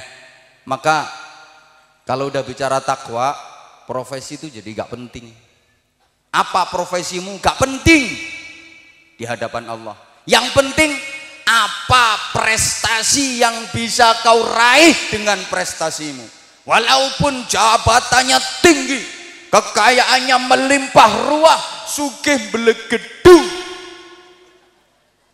Pawinter ilmune sundul langit nganti iso ngraji entut Ya kalau geraji angin wis umum. Kentut itu lho iso digergaji, baru keluar tit langsung krok krok krok krok. Dipotong-potong. Saking pintere. Tapi kalau nggak takwa, percuma, nggak ada artinya tuh jabatan, nggak ada artinya tuh kekayaan. Mending nggak punya jabatan apa-apa, wakil RT aja enggak. Rakyat je, jelalatan, oh ya jelata, tapi bertakwa itu berprestasi namanya. Maka nggak berlebihan rasanya kalau ibadah yang pahalanya besar itu sesuai profesi.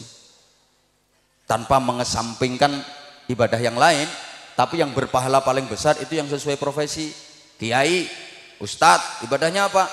Ya pengajian, wiridan, sambil jadi teladan. Maka harus jadi ustadz apa ya? Jangan sampai jadi ustadz jarkoni, Kata orang Jawa, iso ujar gak iso ngelakoni.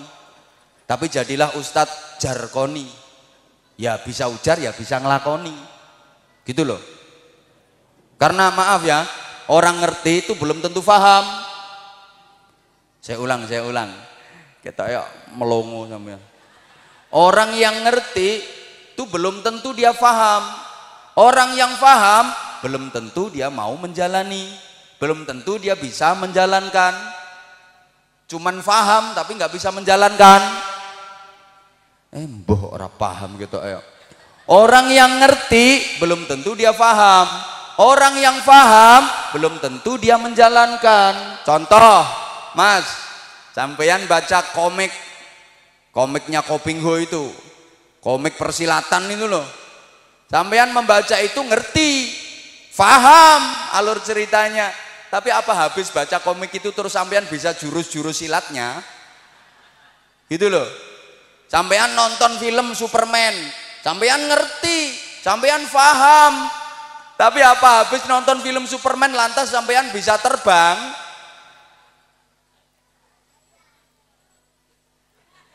Orang yang ceramah itu pasti ngerti apa yang disampaikan dalam ceramahnya. Paham apa yang disampaikan dalam ceramahnya. Tapi belum tentu dia menjalankan apa yang menjadi materi ceramahnya itu.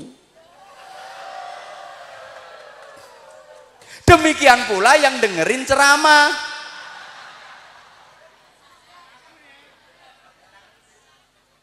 Nah kalau pedagang ibadah yang berpahala besar apa? Ya dagang yang jujur, yang baik. Jangan suka bohong. Jangan suka dusta. Eh mbora dirungokno. Nek kulaan sakmene yang ngomong sakmene, kulaan sakmono yang ngomong sakmono. Kadang ditawar kulaane lorong atau seket. Ditawar 300 nggak dikasih. Yo nggak bisa. Belum dapet. Wong iki kulaane gak oleh sakmono. Lho padahal wis oleh bathi seket lho. Lho sing kulino nglakoni ngeklek ya itu namanya mentertawakan diri sendiri Ya gak oleh, Mbak. Kulaane gak oleh sakmono. Lha tuh nek sakmono iki bakule melok sapa? Ya melok bojone. Eh, kalau guru ibadah yang berpahala besar apa? Ya intisyarul ilmi, menyebarkan ilmu, mengajar. Kalau TNI ibadah yang berpahala besar apa? Pertahanan, menjaga keutuhan NKRI, itu prioritas. Kalau polisi ya kamtipmas pokok wilayah hukumnya kondusif aman itu pahalanya paling gede. Nah misalnya polisi suruh puasa tiap hari. Puasa tiap hari. Ini babin kamtipmas puasa tiap hari. Akhirnya ada warga sini yang kehilangan motor lapor pak motor saya hilang pak suruh sono aku lemes ini malah puasanya polisi gak diterima sama Allah. Makanya Pak Polisi puasa jarang-jarang gak apa-apa. Uh, yang penting kamtip masnya kondusif. Ya seneng wis males poso diomongin ngene.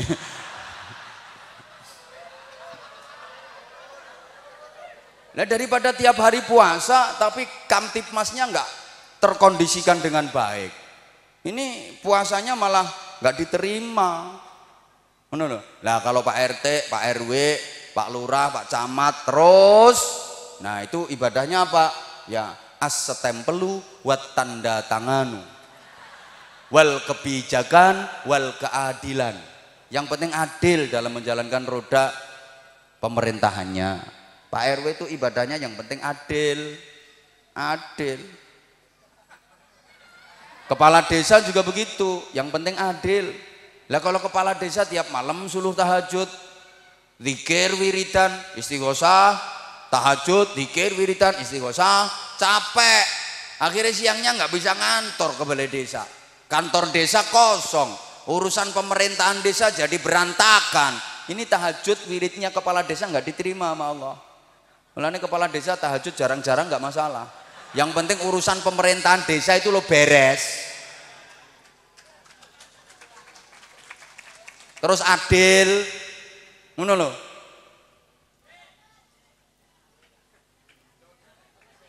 Nah kalau orang yang lagi punya hutang ibadah yang berpahala besar apa? Ya kerja keras nyari duit biar bayar biar bisa bayar utang. Jangan salah punya utang masuk masjid duduk bersila muter tasbih ya lunas utangnya nyolong kota amal Kalau orang kaya ibadahnya nyumbang. Ayo ditirukan bareng-bareng biar yang kaya tuh denger. Orang kaya tuh ibadahnya Sekali lagi orang kaya tuh ibadahnya ini yang teriak kenceng mesti wong melarat. Soalnya harap-harap sumbangan gitu. Ya jangan salah pasang. Eh, cerita dikit ya. Di rumah, maksudnya rumah saya, itu hampir tiap hari ada tamu. Hampir tiap hari. Ya macam-macam tamunya. Ada tamu wali santri, ada tamu yang minta jadwal ngaji, ada tamu yang minta suwo. Nah, iya, emang kalau di kampung kan kiai identik dengan tukang suwo. Jadi curhatan masyarakat. Ya, sering ada tuh bapak-bapak minta doa, kiai minta doa, suwo kayak apa? Istri saya cerewet banget. Dia gue jaluk suwuk sing kena gombungkem cangkeme wong wedok. Bojo kula cerewet iki. Kula njaluk suwuk sing kena gombingkem cangkeme wong wedok. Ya tak kasih, padahal aku dhewe lagi bar dicelatu. Ya tak kei ya, mandi enggak urusan belakang. Yang penting kan oleh gula.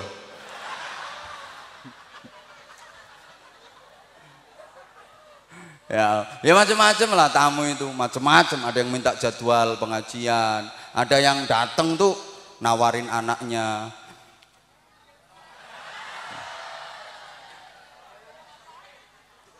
kongkon mulang oh diomongin kok ada tuh pernah orang kaya kaya banget kaya pakai banget kok bisa tahu kalau dia kaya ya dari mobilnya Bukan, bukan rental, gak mungkin nek rental nggak mobil ngono iku. Mobilnya level 5M ke atas. Udah ngerofes. No. Kowe ora ngerti ngertimu pickup karo Tosa. Masa ana wong rental nggawa Land Cruiser yo gak kira ana. Iki padahal sik kelas murah. Niki di atasnya itu we. Kaya, tak ceritani gak kira ngerti we. Ngertimu Tosa kok. Ini Terus tak ajak keliling pesantren. Kan lagi bangun pesantren tuh, ini bangun gedung untuk Madrasah Diniyah Putri, sebelahnya ada gedung untuk Takfidil Quran. Itu kebetulan lagi bangun. Dan ini memang bangun terus, terus, terus dan terus. Di pesantren kami free biayanya. Gak ada biaya sama sekali. Tanya panitia yang udah pernah ke sana. Sekitar 700 santrinya, Alhamdulillah. Baik di pondoknya, sekolahnya, seragamnya, kitab-kitabnya, semuanya gratis. Alhamdulillah. Ya ya oleh kok teko ngene-ngene iki. Mangkane tak lewarang no pisan Lho gak kanggo aku kok. Saya secara tidak langsung panitia-panitia itu ikut nyumbang di pesantren kami, ikut membantu anak-anak yatim kami. Tapi tak paksa, soalnya nek gak ngono gak kira gelem. Loh, demi Allah saya. Lah kalau enggak saya itu bengok-bengok keliling dunia ngomong ini terus disakseni malaikat, disakseni Gusti Allah. Ya, kalaupun saya misalnya bohong, ya sedikit pian gak kira diundang karo wong. Ya, nah, terus pas lagi bangun tuh orang kaya tak ajak keliling dia ngomong, wah luar biasa perkembangannya bagi bangunannya. Ya saya doakan mudah-mudahan bangunan ini cepat selesai. Langsung aku ngomong, aku gak butuh dongomu. Ya apa dipikir tak ajak keliling itu tak jaluk itu ngono lo orang kaya kok no salah pasang gitu. Ya enggak pas. Hadisnya jelas semua hafal tuh hadis. Iwabud dunya bi arba'ati asya. Tegaknya dunia aturan apa pun itu dengan empat perkara. Satu bi ilmil ulama dengan ilmunya para ulama. Berarti ibadahnya ulama tuh pakai ilmu. Dua bi adlil umara dengan keadilan para pemimpin. Pemimpin pejabat tuh ibadahnya pakai keadilan. Tiga, bisa khawatil agnia dengan kedermawanannya orang-orang kaya. Orang kaya tuh ibadahnya dermawan, nyumbang. Lah ini kok ndongakno to? Wong sugih ndongakno ngerusak hadis.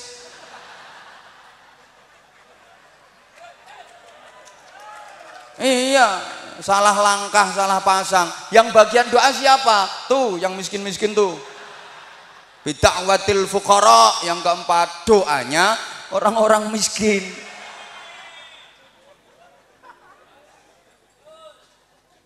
Maka jangan salah ya, zikirnya orang kaya itu bukan ya Rahmanu ya Rahim, ya Rahmanu ya Rahim, ya Rahmanu ya Rahim. Bukan itu.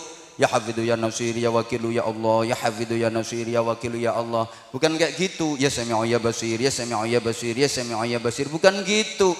Zikir orang kaya tuh ya semen, ya pasir. Ya semen ya pasir, ya semen ya pasir, ya koralu ya botoh. ya pintu ya jendela. Ya cek, ya giro, ya rekening, ya transfer. Tuh zikirnya orang kaya Wong sugih ndongano. Salah pasang. Itu loh, makanya semalam juga saya sampaikan semua komponen harus saling mendukung. Kalau mau mendirikan masjid, TPK, pesantren, ada kiainya, ada orang kayanya, pengusaha orang kaya, ada pejabatnya, ada iya, yang melarat-melarat ya kudu ono. Nah, mau mendirikan masjid rapat 17 orang kiai semua. Gak kira dadi masjid. Satu baca Quran, satu buka kitab, satu pegang tasbih. Gak dadi bangun masjid ini gak cukup ditakbiri. Allahu Akbar terus material teko kabeh. Ya kiainya yang doa. Ya Rahmanu ya Rahim, ya Rahmanu ya Rahim, ya Sami'u ya Basir, ya Sami'u ya Basir, ya Sami'u ya Basir, ya Sami'u ya Basir lama-lama ya dana ya dana ya dana ya dana ya dana ya dana dana ya dana ya dana dana ya dana. Nah, orang kaya datang bawa dana. Ya ada pejabatnya, bagian perizinan, administrasi. Ya ono sing melarat-melarat ngono kae. Bagian kerja. Ini gak ono sing melarat sapa sing kerja. Ngono lho. Ini baru satu. Duh, gak cukup ini waktunya. Dua, iya. Sekarang yang kedua. Alhamdulillah. Gak cukup ini waktunya. Ya ringkes-ringkes saja. Kita ditakdir Allah menjadi umat yang terbaik. Khaira ummatin. Umat terbaik di antara umat-umat yang lain. Kitalah yang terbaik. Ummatan wasaton umat yang tengah-tengah sedengan moderat kita nggak terlalu ekstrim nggak terlalu lunak nggak terlalu ke kanan nggak terlalu ke kiri ini selaras dengan karakter bangsa Indonesia tengah-tengah jodohnya bangsa Indonesia itu berada di posisi tengah-tengah kita pernah dibawa ke kanan oleh Masyumi DITII mau dibikin negara Islam nggak bisa, nggak jodoh. Bukan karakter negara kita seperti itu. Pernah dibawa ke kiri oleh PKI, mau dijadikan negara komunis, nggak bisa sampai kapan pun nggak akan bisa, nggak akan bisa, nggak jodoh. Jodohnya kita tuh di tengah-tengah. Eh, mbok ketok gak paham sama yang Jabah Hasan ngene ya. Modelmu kok gak iso mikir.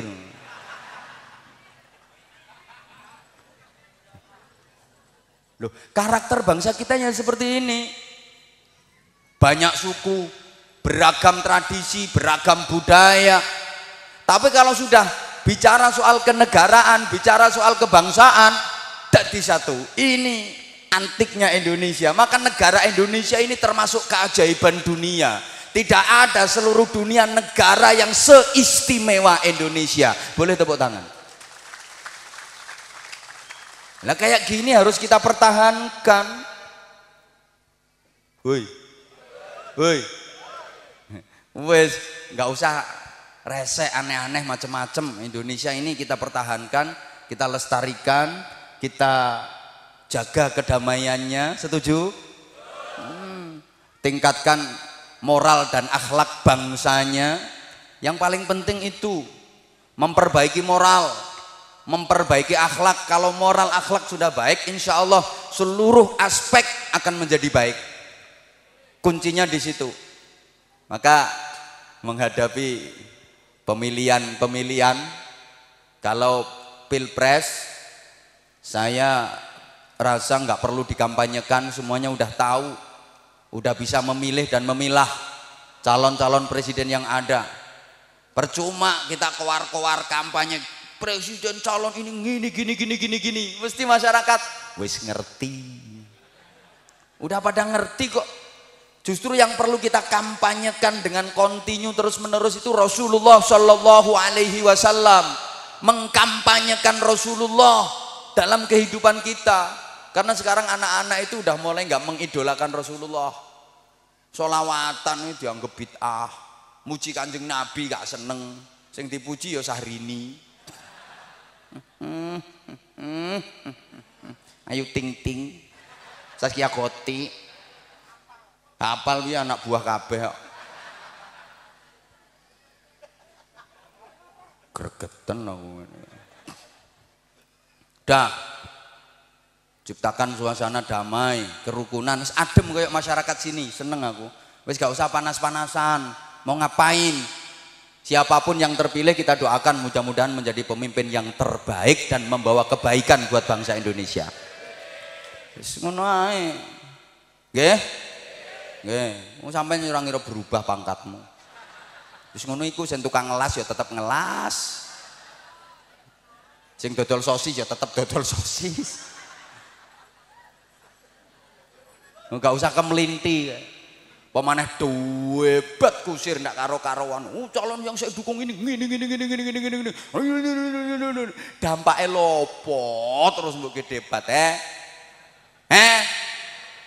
Kita ini orang kecil, kita ini orang kecil, ayo ndonga ae. Ndonga, nggih. Memperbanyak doa mudah-mudahan negara kita ini diberi keamanan oleh Allah Subhanahu wa taala, diberi kedamaian oleh Allah Subhanahu wa taala. Oke.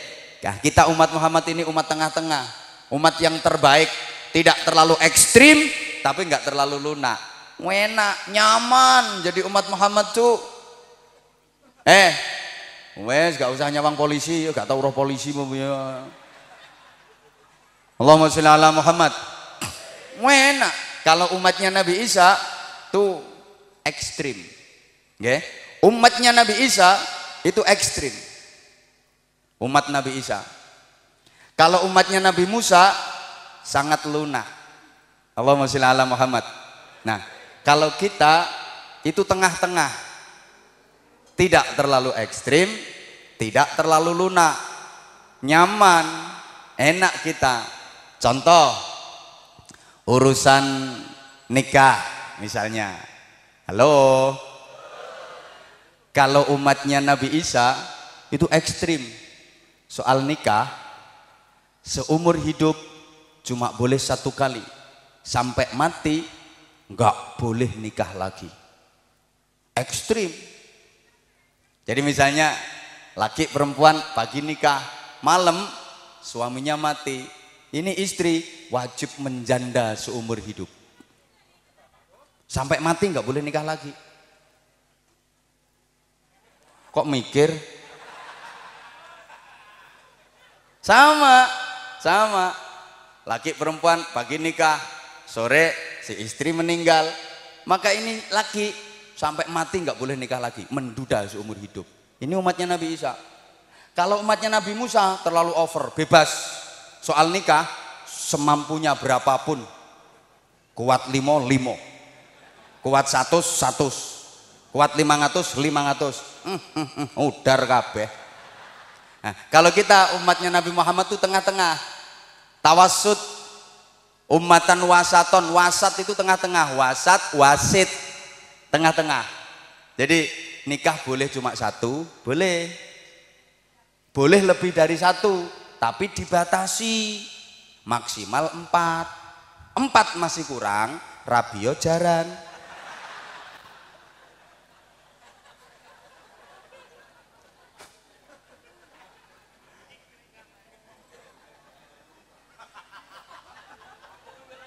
Loh, empat pun ada syaratnya. Satu, harus berani sama istri tua. Dua, harus ndablek. Tiga, harus adil. Karena kalau ibu-ibu, ya suaminya minta izin, ma, aku nikah lagi ma ya.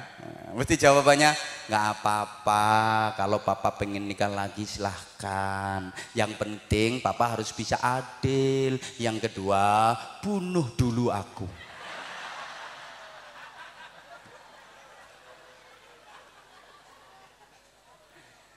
Itu simple ya. Jadi misalnya ini ya, misalnya zaman Nabi Musa dulu kalau datang ke ulama, datang ke kiai itu nggak boleh bawa apa-apa, nggak boleh pakai buah tangan, nggak boleh bawa gula, parcel, nggak boleh kasih duit, nggak boleh haram, dosa. Ini umatnya Nabi Isa, umatnya Nabi Isa. Jadi untung aku gak menang. Ya kalau nggak gitu dosa lah. Kita umatnya Nabi Muhammad tuh tengah-tengah. Umatan wasaton, tengah-tengah. Jadi datang ke ulama sowan, bawa oleh-oleh boleh, nggak bawa oleh-oleh boleh, tapi yang bagus bawa. Nah, gitu. Ngasih duit boleh, nggak ngasih duit boleh, tapi yang bagus ngasih. Tengah-tengah. Lah, umatan wasaton, umat tengah-tengah termasuk menjaga keseimbangan antara urusan dunia dengan urusan akhirat. Menjaga keseimbangan antara hablum minallah dengan hablum minan nas. Ini umat Nabi Muhammad seimbang. Jadi nggak cuma diajarkan secara ritual saja, tapi juga sangat memprioritaskan horizontal. Urusan nama Allah bagus, urusan nama sesama bagus. Maka kalau Bapak Ibu belajar tentang syu'abil iman, cabang-cabangnya iman, itu semuanya tercakup. Hablum minallah, hablum minan nas. Allahumma sholli ala Muhammad. Kalau belajar tentang cabang-cabangnya iman, yang tertinggi apa? A'laha la ilaha illallah. Iman dengan strata tertinggi adalah la ilaha illallah. Wa ausatuha ikramud Tengah-tengahnya iman memuliakan tamu. Maka Nabi Ibrahim sampai diangkat jadi Khalilullah, kekasih Allah karena Nabi Ibrahim itu ahli hormat tamu. 47 tahun Nabi Ibrahim itu nggak pernah makan kecuali bareng sama orang lain, bareng sama temen. Jadi Nabi Ibrahim itu nggak pernah makan sendirian. 47 tahun itu. Jadi kalau mau makan, tuh nyari temen dulu. Diri di depan rumah, eh eh eh eh, udah makan? Udah, terus. Udah makan belum? Belum, yuk makan bareng aku. Udah makan belum? Yuk makan bareng aku 47 tahun. Kalau nggak nemu temen, nggak dapet temen, ya nggak makan. Itu Nabi Ibrahim. Dan ibu-ibu malah makan ngumpet-ngumpet. Jangan sampai ketahuan temen. Wa adnaha imatatul adha anit torik. Iman yang terendah itu menyingkirkan duri dari tengah jalan. Tadi lagi habis ngaji kayak gini, eh di tengah jalan ada duri ada pecahan kaca, ada paku, singkirkan. Ini kenapa? Ya menyelamatkan saudara kita, menyelamatkan teman-teman kita. Paham? Paham? Sehingga Islam itu sangat menjaga nilai kemanusiaan. Sangat menghargai manusia. Betapa Bapak Ibu pernah mendengar sebuah hadis Misalnya lagi musim kemarau, susah banget nyari air. Woi. Katanya minta dilanjutin. Susah banget nyari air. Karena itu lagi musim kekeringan, susah nyari air. Punya air cuman sedikit. Masuk waktu sholat, perlu wudhu, pakai air. Sementara kita punya kambing, Uh, kehausan, udah berhari-hari nggak minum, takut mati. Nah, ini air cuman sedikit. Kalau dipakai buat wudhu, kambing nggak minum, bisa mati. Kalau diminumin ke kambing, kitanya nggak bisa wudhu. Padahal wudhu ini urusan sholat, urusan dengan Allah. Sementara ngasih minum kambing, urusan nama kambing. Apa kata agama? Kasih air itu minum. Ah, kasih minum kambingnya wudhunya gimana urusan nama Allahnya gimana ganti tayamum pakai debu loh Allah aja ngalah sama kambing jadi Allah itu menghargai hak perkambingan apalagi hak kemanusiaan. Eh, melaksanakan ibadah haji, baik apa baik? Bagus apa bagus? Dari sisi ritual, habluminallah. Tapi kalau dana yang dipakai itu dana yang enggak bener, hasil dari muamalah yang haram, modal sosial yang haram, percuma tuh hajinya enggak diterima sama Allah. Maka ketika Rasulullah ditanya, apa tanda haji mabrur wahai Rasulullah? Jawab Rasulullah, ifsya'us salam. Menyebarkan salam, menebarkan kedamaian. Wasilul arham, menyambung tali persaudaraan. Wa it'amut ta'am, memberi makan. Udah sampai segitu. Hoi. Hoi. Coba saya tanya lagi, misalnya ada warga sini habis ikut sholat berjamaah di masjid. Selesai zikir doa mau pulang. Dia terpeleset. Jatuh mati. Ini matinya baik apa baik? Habis sholat jamaah mau pulang terpeleset dia di masjid. Jatuh mati. Ini matinya baik apa baik? Baik apa baik dalam pandangan kita mungkin baik tapi coba misalnya dia nggak rukun sama saudara dia nggak akur sama tetangga. Ada hadis Nabi yang menyatakan yamkutullah qati'a rahimin walau mata jaufal Ka'bah sajidan. Allah melaknat orang yang memutus tali persaudaraan walaupun tuh orang matinya lagi sujud di dalam Ka'bah. Enggak cuma di masjid perumahan sini. Gimana kalau kayak gitu? Woi, Orang yang mati syahid itu semuanya masuk surga. Asyuhada yadkhulunal jannah kata Rasulullah. Illa man lahu dainun wa laysa lahu wafaun. Coba orang-orang yang mati syahid semuanya masuk surga kecuali orang yang punya tanggungan hutang tapi hutangnya nggak diberesin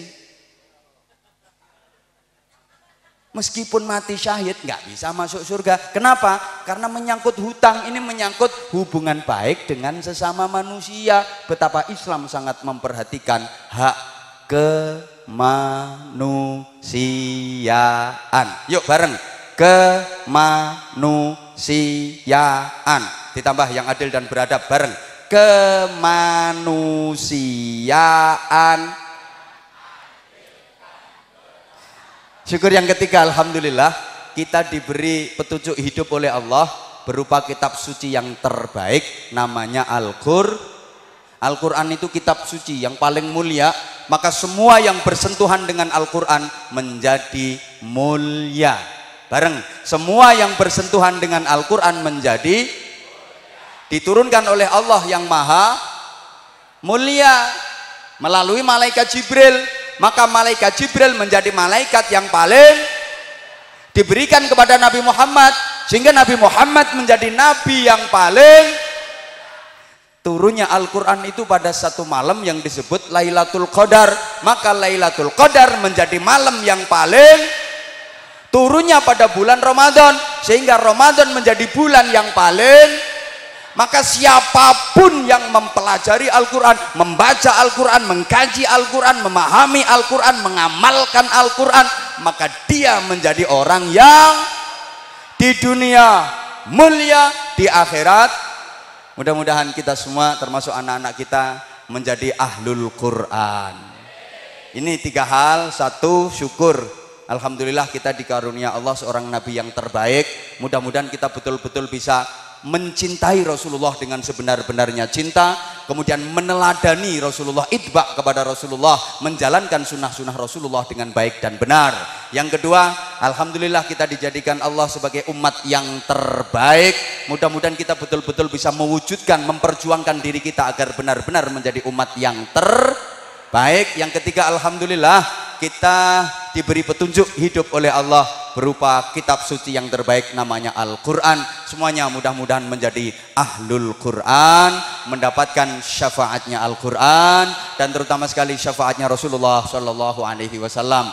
Mudah-mudahan pertemuan kita hari ini manfaah maslahah barokah fid dini wa dunya wal akhirah. Bi barakatil fatihah. A'udzu Bismillahirrahmanirrahim الحمد لله رب العالمين الرحمن الرحيم مالك يوم الدين إياك نعبد وإياك نستعين اهدنا الصراط المستقيم صراط الذين أنعمت عليهم غير المغضوب عليهم ولا الضالين رب اغفر لي ولوالدي وللمؤمنين آمين يا رب العالمين اللهم صل على سيدنا محمد وعلى آله وسلم رضي الله تبارك وتعالى عن كل صحابة رسول الله أجمعين والحمد لله رب العالمين اللهم اجعل جمعنا جمعا مرحوما وتفرقنا من بعده تفرقا معصوما. اللهم Allahumma innaka ta'lamu dhunubana faghfirha wa innaka ta'lamu 'uyubana fasturha wa innaka ta'lamu hajatina faqdiha kafa bika waliyyan wa kafa bika nashira Allahumma tsabbit imanana wa nawwir qulubana wa sallimna fid dini wad dunya wal akhirah Allahumma inna nas'aluka husnal mahabbah wa husnal mutaba'ah li nabiyyina wa habibina wa syafi'ina wa qurrati a'yunina Muhammadin sallallahu alaihi wasallam fi aqwalihi wa